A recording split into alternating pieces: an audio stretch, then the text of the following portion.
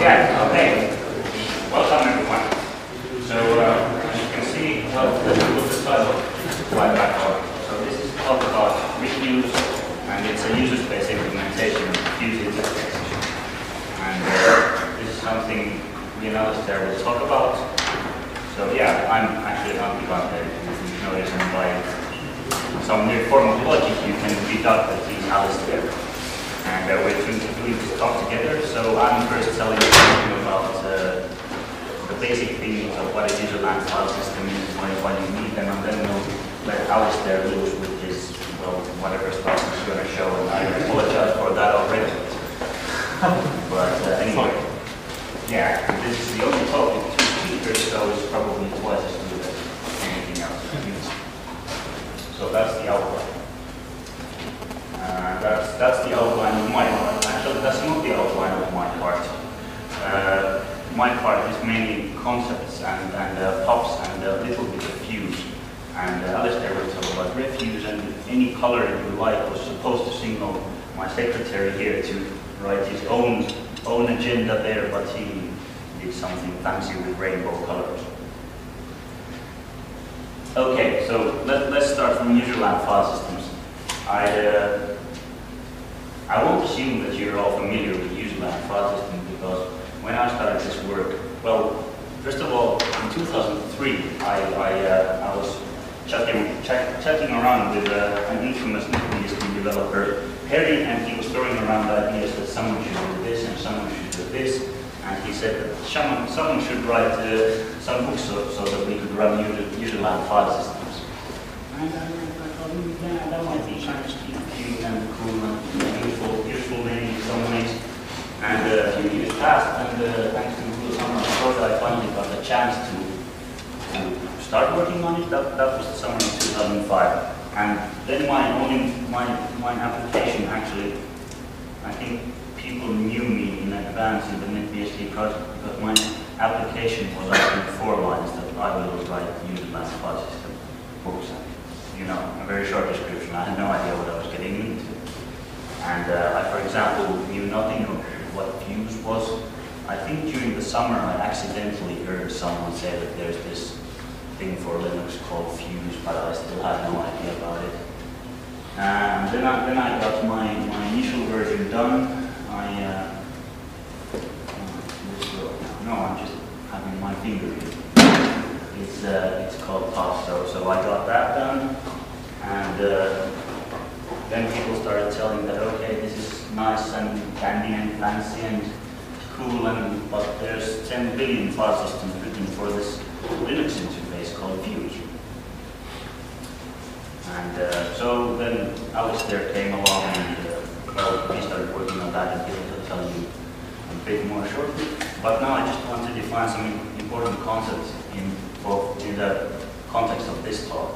So when we talk about Fuse, we, we mean and uh, actually the, this is slow.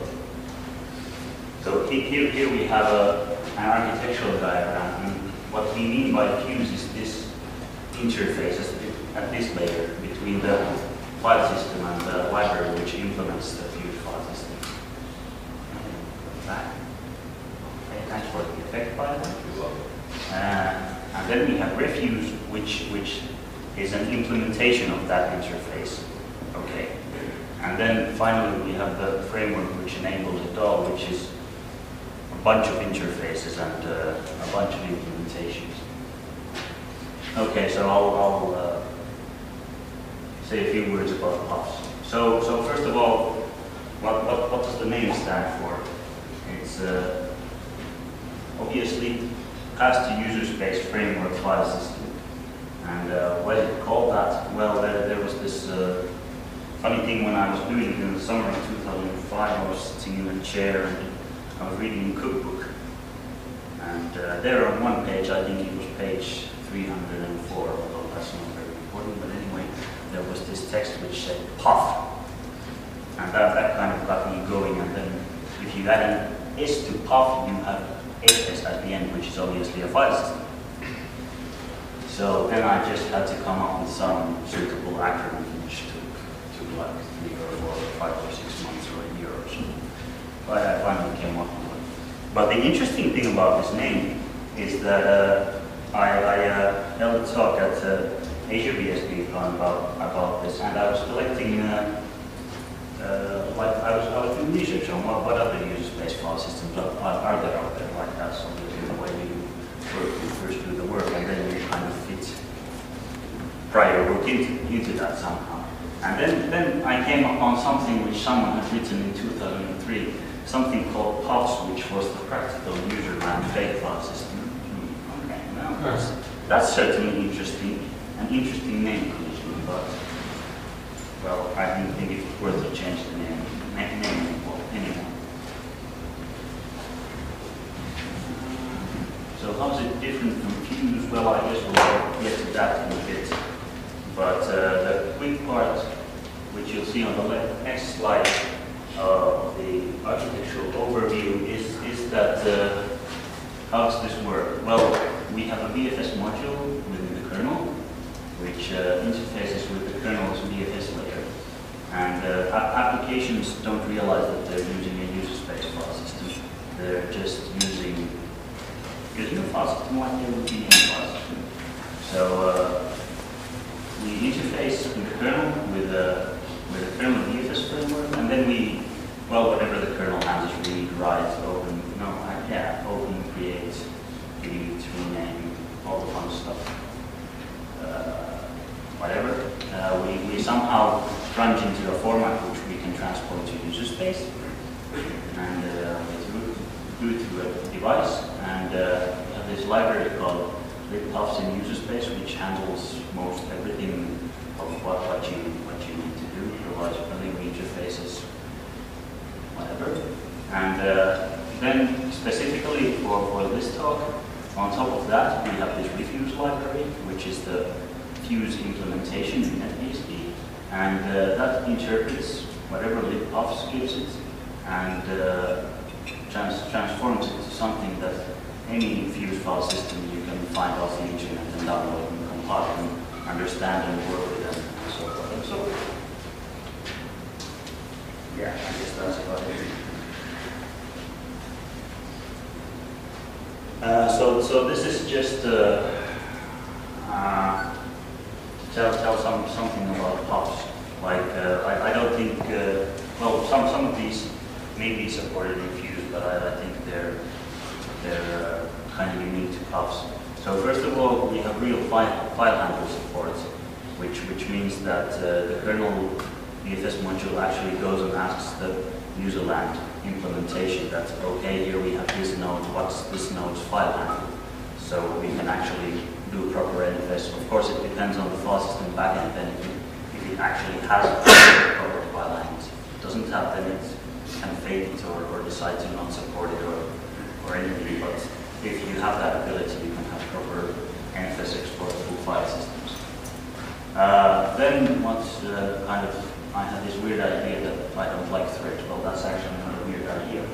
I just don't happen to like threads. I don't like how they schedule behind my back. It's like they're plotting, plotting against me or something like that.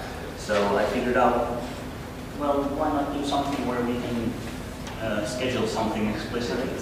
Uh, in file systems, that that's important, well, especially in the user land case. For example, network file systems, you file off a query somewhere, you don't want to be waiting there until your, your, uh, your uh, response arrives.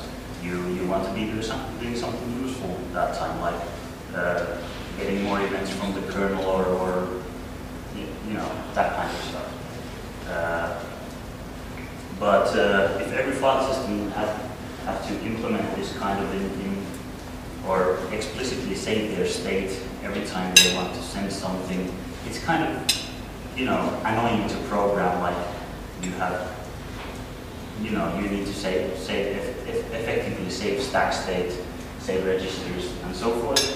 So uh, what I did was I did something, well, actually we talked earlier, if, if you were listening to the pipeline talk, we talked about coroutines, so those are effectively co- coroutines. So every function gets past uh, what I call a continuation cookie, and uh, you can yield, yield on that cookie, and then you can continue from it later. So you can explicitly schedule yourself wherever you want.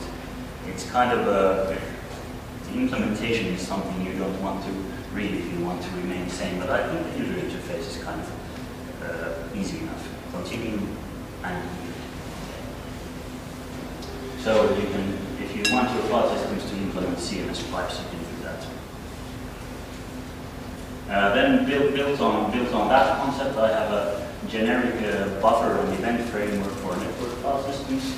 Uh, we'll, we'll see a couple, couple of example file systems. I'll just go through quickly use that. So that basically abstracts all the memory management, all the buffer handling, uh, all the, you know, you send something, when do you re receive it, how do you handle it in a, in a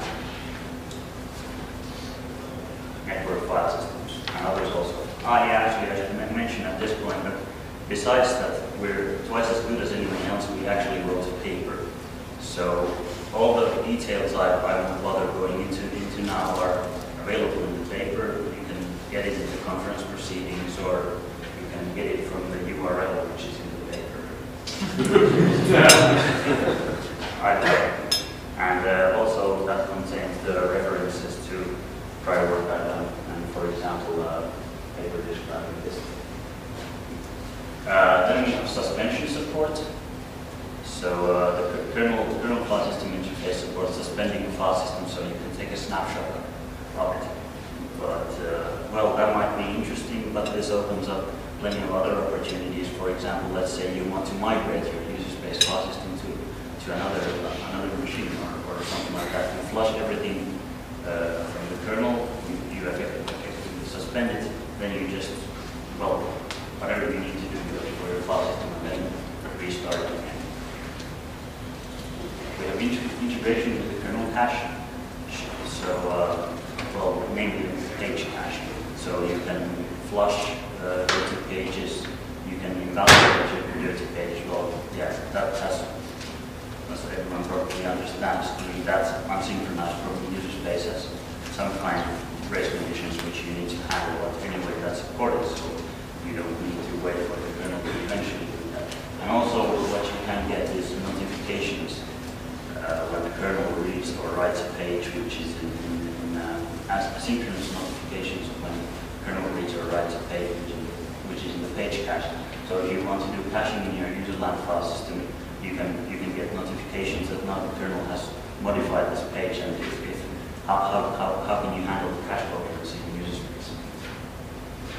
And uh, then this is this is what I've recently done. That's actually well, not useful if you're a user, but I think it's very cool if you're a developer. So you can take kernel file system code, compile it, and mount it so that the kernel file system is running in user space. So for example, if you want to do some, well, I suppose most file systems now, so FFS development, for example, you hack on FFS a little and then you just run the program in user space, and if you happen to mishack it a bit, then, then uh, uh, then all you get is a crash instead of a kernel panic. And you can do that for all, all kinds of other neat tricks, like you want to test some error paths in your file, in your kernel file system code, code do some uh, uh, fault injection there. It's, it's completely isolated from the rest of the kernel. So, so kind of and uh, TMPFS is just mentioned especially because I do some special work to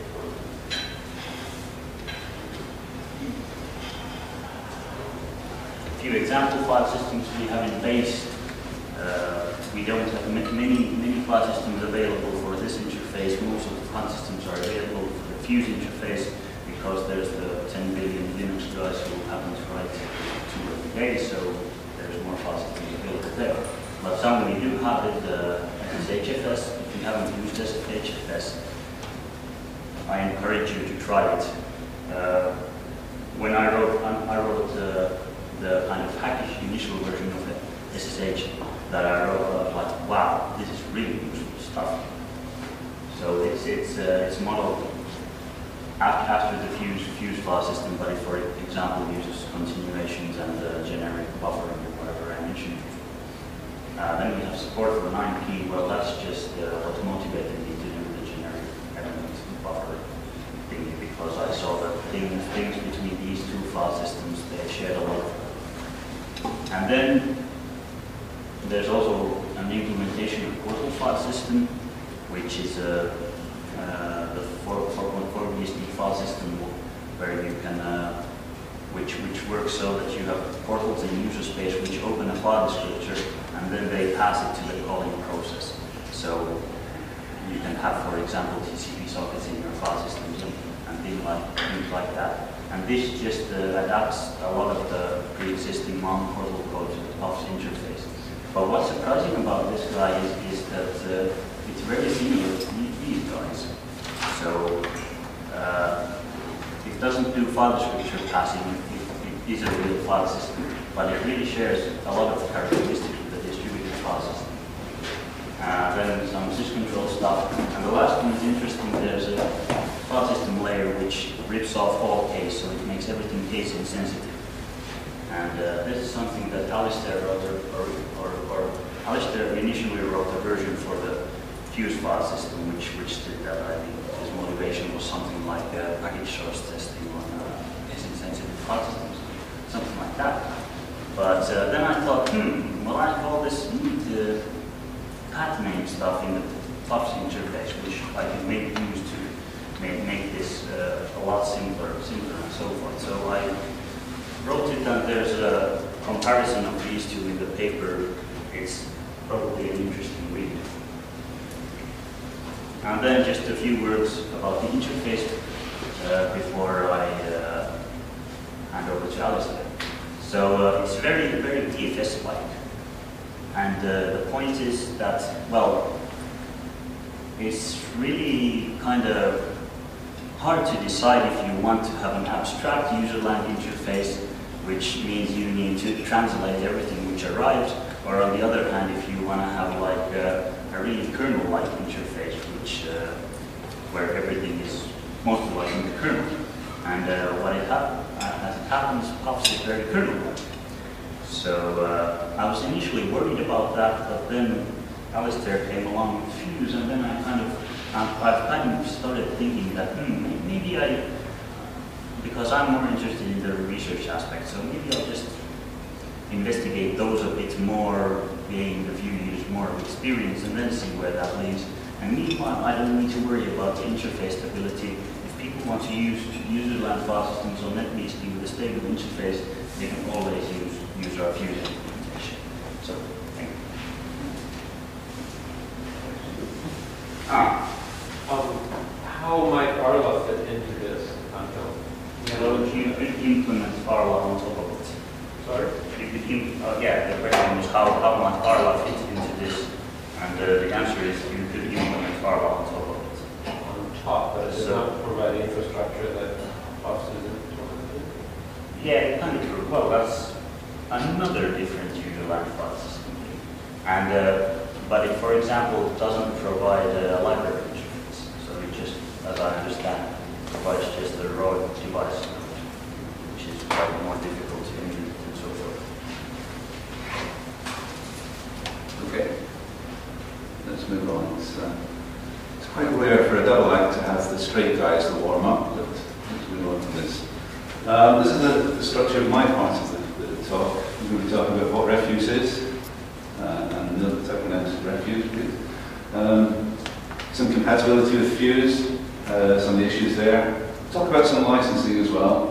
Um, uh, the development strategy that we use to, uh, to make this work. Um, some of the implementations that we have in package source and some of the hoops that we have to jump through to make it work both on FSD and on all the other uh, operating systems that package source supports. We've got some performance figures, very, very rough, but um, it gives an interesting uh, view on things. And I'll also touch on some future work as well. Um, my motivation for this actually wasn't what Antti said. Um, he talked about his, um, his work on puffs, and I, I was very interested, and I asked him about the relationship with Fuse. At the time, I, uh, he gave me an answer, and I thought, great, yeah, fine, go away. And then at Milan last year, Kirk asked me exactly the same question, but few months had elapsed by that time, and I'd completely forgotten the answer that Antti said. And so I thought, I better get something implemented straight away, or I'm going to sound absolutely stupid. So that was the motivation for reference. Uh, Moving on. Um, yeah, re- uh, refuse to live with pain, refuse, I, I don't know how we, how we should call it, um, but we'll move on. This is what fuse looks like, and uh, Antti out uh, an interesting slide earlier about, um, about what uh, Puffs does. Very much the same kind of uh, idea here. We've got the, the loop into the kernel, uh, going, down to the VFS, up to the fuse uh, device, and up into the, the callbacks up in user land. And this is what refuse looks like. Or that. Or that. Enough geek humour there. Uh, I said enough geek humour. Um, got to look at compatibility here. Right, and um, some of the source code compat. I apologize if you can't read these, but I, I had absolutely had to show people these slides. These, these are great. These are if, um, if people are thinking of getting married and things like that, um, when not to hyphenate the names. Uh, I don't know if you can see that one there. That says best laid. Uh, anyway, while, while these are on, I'll talk about the source code, code compatibility issues. We have a userland file called fuse.h, which is included um, with everything. And the structures are, are the same as that we have in Fuse, so that we're, we're laying uh, refuse on top of puffs and creating uh, an interface that looks exactly like Fuse. Um, we have a shared object or a library called librefuse, uh, or whatever. Um, and all the Fuse functionality is built into that. We just link with that, uh, and Package Source has the necessary smarts to do that kind of thing. You can have that on other platforms as well.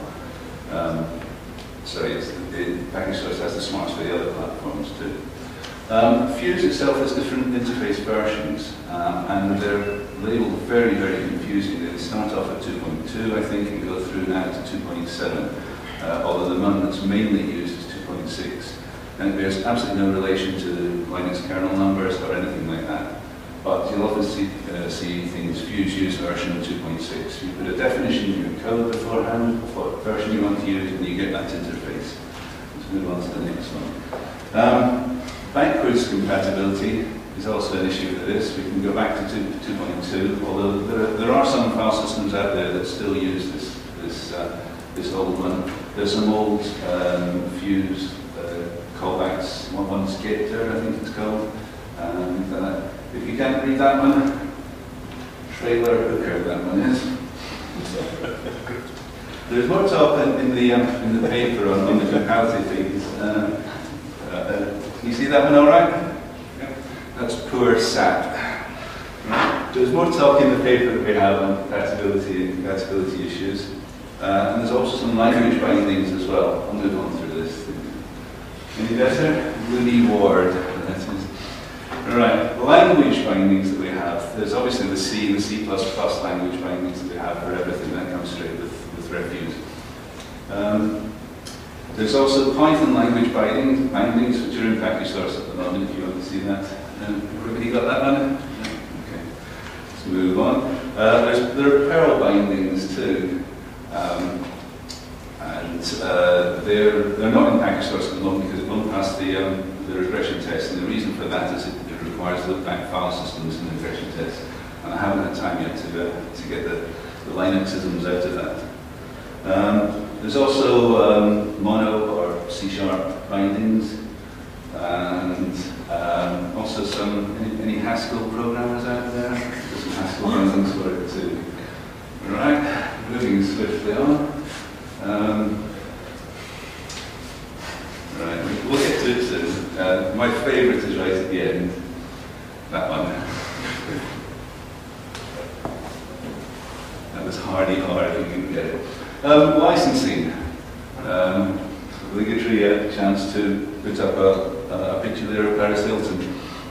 And uh, the licensing problems were that uh, she didn't have a license to go out driving, which she should have done because she was already uh, disqualified. That's her reason for her time in jail. Um, the licensing that we have are FreeBSD uh, has, um, has got their own version of, of uh, Fuse, but that's written under BSD license. The Open Solaris one uh, is written under the CDDL, which isn't surprising. Um, some people have problems with the CDDL. Um, it's certainly uh, more restricted than an ordinary BSD license, but not that much more. Um, MacFuse is written under the three-clause BSD license, mainly because it's derived from the, the free BSD ones. And uh, Refuse, of course, under a three-clause BSD license. I don't know if you can recognize some of the, uh, the players there. There we go, that's Richard Stallman. This is the launch of the GPL V3 license. I thought I'd put this up, thought. Sitting behind him is Eben Moglen, and uh, that's the, master ranks of penguins there. But unfortunately, licenses have a problem with creeping up behind you and getting you in the back sides. So, moving on. Also within uh, refuse, um, we keep our, I I noticed the, the file systems that we, that we build up, they, they have uh, file path names attached to them. Um, this is fine for, for ordinary file systems um, that have the, the file paths hard coded within them, except for the very early versions of FFS, obviously. Moving on swiftly. Um, for virtual file systems, you don't have that kind of thing. You need to have a, a way of squirreling away the path name later so you can get back to it later. You can do um, uh, directory operations on them, things like that. So I've got a, set of routines in the uh, base source called uh, virtual directory. Basically what they do here, one's up at the top, manipulate the, um, the directory uh, file system that we have. So you can add files to it, delete from it, um, find them, find them on, based on various criteria. And there's some, some routines here which uh, traverse directories. Um, making that easy. They're, they're uh, intentionally meant to be like the, um, the library routines that we have for, for uh, traversing directories as well. Um, right, we now move on to some things. There are, there are two levels uh, within Fuse. One is the, the bottom, the low level, and one is at the top level. And I apologize for this animated GIF here. Um, I, I was trying to show um, karate and the, the multiple levels of um, belts and dans and sensei can have. It looks like this bloke is doing the, uh, the can-can or something like that. Um, I blame Google. Uh, their image sort of found that one for me. Right, this is a, a, another one, um, dual level train platform. Um, I think as, uh, as one of the older ones here, I can remember a day when there were system programmers and application programmers, and they tended to work at different levels. Um, system programmers worked at the bottom, they're very interested in the nuts and bolts and didn't work in time slices more than what, know, two microseconds, something like that. Um, application programmers, much more interested in the, uh, the overview, uh, the nice, uh, nice rounded um, uh, interfaces that they were, they were normally used to using from libraries and things like that. That's uh, some high-level grading work, and that's a high-level system, and that's some low-level dumping grounds um, in some continent over to the, the left of this room. Um, this is some uh, low-level work in Iraq, and that's a low-level system this time, all, all in the theme of refuse, and um, some low-level lighting there. Okay, I'll go on now and explain a bit about package source and the packages that we have in there. Um, hopefully you can all see that. Um, and I could read out, read them all out and uh, give you an exhaustive, uh, an exhaustive uh, in and out of, of what they all do. I would, however, encourage you to look at them, um, see for yourselves, see if there's anything you need there, um, see if there's anything that, um, that you find interesting and maybe can add on or do better or something like that. Um, there's a couple of times that we've heard the NTFS 3G mentioned. There. Uh, that provides read-write support for NTFS volumes. Uh, very, very useful. And that's also one that we do some performance benchmarking on later on in this, this uh, in the paper. And I'll speak briefly about it later on. Another interesting one up there, Fuse Pod. I'll show you a slide of that later on. That allows you to access and manage the tunes in your iPod based on a file system uh, that's, that's attached to it, typically from a laptop or, or something with USB or firewire attachment. Um, Gmail FS, interesting one in that you can use Gmail to provide uh, support for you, uh, support, um, file, file system space for you, so storage for you. Um, and as they're giving away 2.7 gig at the moment for free, then you've got, if you've got an internet connection, you've got 2.7 gig you can get to. Uh, and remember, of course, that you can always invite yourself through a different, uh, different email address. Um, and up to 100 of these invitations too, so you can get a fair amount of storage on the internet if you, uh, if you go around looking for it. Um, Curl FTPFS is a nice one as well. It allows the, um, basically the contents of FTP and HTTP space to appear as a local um, file system. Um, and it's based on top of curl. Um, I didn't particularly like the interface that we have there, so I've, I've written something else and I'll talk about that later on. So. Okay, so that's the uh, one of the instances of the iPod FS. Right. Antti was talking earlier on about um, sysctlfs. That's um, the that's what it looks like in, in operation. You can Actually, uh, see the, the syscontrol nodes down there, and you can change into the directories. You can manipulate those. This is based on puffs. It's not based on on refuse. And that's what Antti was talking about for the um, SSHFS, another uh, interesting application, and as he says, very, very useful. Um, and used it quite a lot. Um, there's some talk earlier on about ZFS um, running on Fuse. Um, the Linux guys are, are in, quite interested in doing this. Um, they actually have a, it up to the stage where they can read and write, although they have um, they have problems at the moment. One of the interesting pieces of this email here is the, if you count the number of uh, threads that ZFS Fuse has running, it's 154. Right, Uh, the previous version, 113. Um, so performance isn't going to be good for you, but this is one of the reasons as well for, for my implementation of Refuse. Refuse, uh, sorry, ZFS Fuse uses the low-level interface, which we haven't finished off within uh, NetBSD yet, um, but it will be coming. Um, as an aside on, on ZFS or CFS, if you come from somewhere else, um, we had a look at it at work and um, actually did some comparison benchmarks between uh, Sun 6900 and the 25K.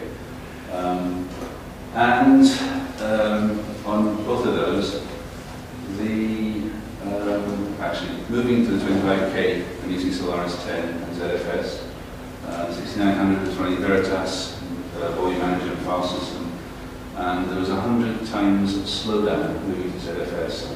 So the, uh, the data integrity of rest has, does pay some prices. Um, the other problem that we had with it was that we found it un- unstable. So uh, we were trying to, um, for DR purposes, we were trying to restore a 20, through 25 terabyte database for a data warehouse on this 25k. We got through 23 terabytes of it, and then ZFS decided to die. Um, we actually went and asked our Sun support people, and I apologise if there are any Sun people here. Uh, you can come and talk to me about it later on. We asked our, uh, our Sun sales representative who had it running in production at the moment, and they couldn't tell us of any customers who were doing that. So beware about ZFS. It's, it's got some excellent potential. It really does.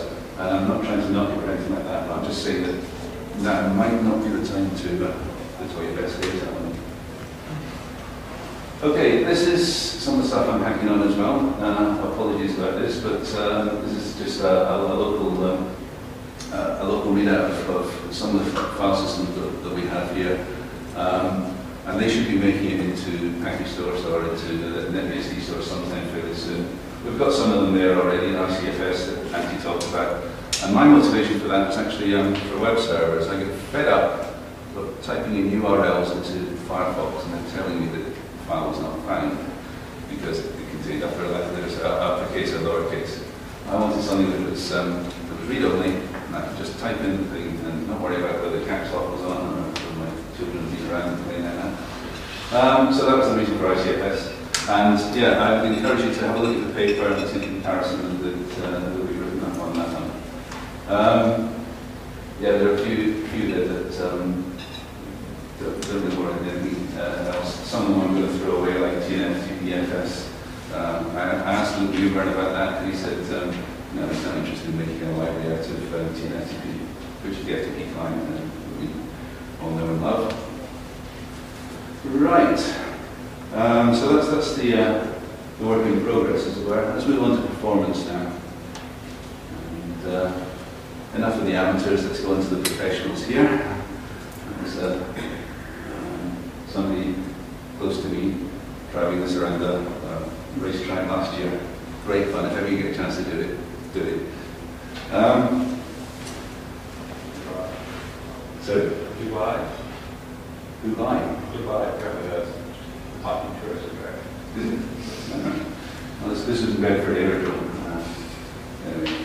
Um, so, why are we doing a file system in userland if we're concerned about performance? And the answer is we're not. We're really looking at uh, some of the interesting features And as Antti mentioned earlier, it's a marvelous vehicle for debugging, for trying things out, uh, and also if you want to migrate stuff, there's, there's a whole lot of things you can do. And using a file system in userland does, does bring home to you the, um, the, just the possibilities that we have. Um, there are some things that people do well, and some things that people just, well, really do know, fairly badly. Um, right. Uh, I'll also talk about some of the, uh, the differences that, that we have between uh, and Fuse. Um, Fuse uses a stat buffer for the um, for the node. Uh, Fuse is very much user level orientated. So you have somebody coming along, they want to make a, a file system out of some of the userland code that they have. Um, Fuse is excellent for that. It's written exactly the right level for that kind of thing. Um, for the more serious amongst us, you want to the level um, stuff that's implemented. Um, Fuse returns errors as negative integers and ESD returns them as positive integers. So we have a shim layer in there to, uh, to change all the negative error return codes into positive ones. So the Fuse can then do its work in the right way. That's how the Puffs can do its work in the right way. Um, Puffs gives us access to the call context, and Fuse you actually have to call some to get it out of thread level storage. Um, we don't have thread level storage in NBSD at the moment, so uh, we get all the information from the, uh, the Puffs call context. And no matter what you do, somebody's going to do a different thing on top of it. Um, directory reads in fu- uh, Fuse and in Puffs are done in a different way. The buffering is done completely differently. Um, Right. Um, I did talk about some of the, the um, processes that are up there, so I'm going to start. Okay, development technique. Um, we didn't go all out at it. We thought, we'll try one nice, easy um, system call. And Antti kindly pointed out that lookup would probably be, very, be a very, very good one to do. Um, and then we built on top of that, build them up one at a time, and so we get the, uh, the whole of refuse working. Um, and we, we have that right now, I think, with the, ex- uh, the section of the extended attributes, but uh, I'm sure that's coming. Um, given that I've written a Fuse file system to, uh, to lay down extended attributes on top of any file systems, it's, uh, it's easy to helpful. Um, so, pimp my golf cart again, this, this kind of stuff. Um, there's all the development techniques that we use. Um, the, um, the, the paper points out that um, the refuse way of doing it is that we have typically one thread. So we're less parallel, that doesn't mean to say that we have wrong results with the, uh, the file systems. Okay. Um, another one, a close-up of that one, and that's somebody getting it wrong. The idea again is once, you once you've got userland file systems, try it over and over and over again, it doesn't matter if you have a, crash or anything like that, you're not picking up bits off the file system, typically you've got snapshots of it, uh, and you're not worried about um, kernel stability or anything like that. Okay. Performance figures. Um, I must note these are very, very rough. However, uh, Antti did these uh, with Q, uh, QEMU running on uh, his laptop there. Um, the top figures are coming from uh, an NPSD system, and the bottom ones are coming from Linux, which is a Knoppix one uh, running on a, uh, a live CD. Um, this probably looks it better uh, what we see. Um, character, we have um, fuse, yeah, more than double it. Uh, again, these are rough, so don't take them as gospel, but uh, what I would like to stress is that the, uh, the graphs are, are roughly the same, especially in that one. Um, in some things, we're, we're finding FBSD outperforming Fuse. I'll take it again if that's all right. Um, and then this one, as well as the seeks. So they're, they're roughly in the same ballpark, um, which I was quite surprised at. I didn't expect such, uh, such fast performance, actually. Right. You'll be glad to know that this is the talk finally over, we're about to go out, I think. Um, this is a picture of a Secret Service agent who is taking a nasty question in directly to the President. Any questions? You're Uh, the character uh, throughput, did you actually verify that uh, uh, kernels didn't do different things in the VFS layer so that the actual file system gets uh, called uh, the same number of times? You know what I mean? No, that was just running like, you know, stupid, stupid stuff. That was made, uh, uh, well, the purpose is it, it gets buffered in the kernel. So I didn't turn on all the caches off because I didn't really want to measure that. I wanted to measure the user experience. So uh, it's actually, when it's doing its, or when, when the writes are going to the file system, they come from the kernel which is, which is buffered into large chunks.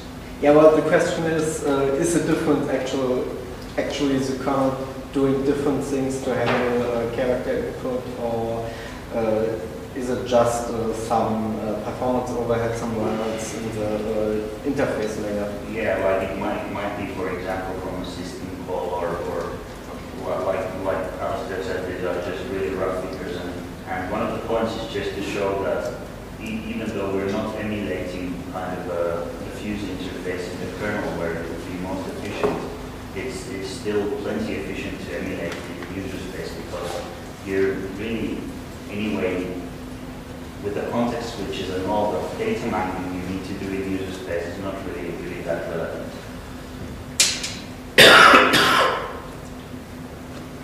Any more questions? Oh, Steve. On a, on a performance note, could, uh, without having read the paper, can you just give us a very quick um, comparison between user space FFS and real FFS? I'll pretend to. Well, it's, uh, it's a bit slower. Well, it's about fifteen percent slower, so, but that's it. Pretty good. Sorry, another question. How about reporting to FreeBSD? Um, I, that's the FreeBSD guys. Um, I don't see any problems with it. The interaction with the IO layers, maybe. Mm. Uh, buffer cache, something like that, maybe. But it, sh- it certainly should be portable. So I'd love to see it if the, if the guys want. Hello. What's this uh, Google Search FS? Oh, right. Google publish uh, an HTTP interface, right? And so you can actually um, program it up. So what, what I have there is um, a file system that if you if you want to search on the terms um, Glasgow Rangers or something like that, you would put in um, a file name, a path name of Glasgow plus Rangers. Um, send that off to Google if you can, because it's all in userland and just interpret the XML and get back. Um, one of the things you have to do is you have to pretend to be Lynx, right? otherwise it starts silly things because it thinks you're on a, on a funny browser. So really, it really is a very Yeah, yeah, that's right, but uh, it, you send the query, oh, sorry, the um, reference system sends the query off up to Google and interprets the results that come back as files. uh, as files, as, as whatever, yeah. As long as you've got the, um, the HTTP uh, in there. It's, it's difficult to know how, how best to present this information, whether you want to present it as separate files, because then you have to cat each of the files.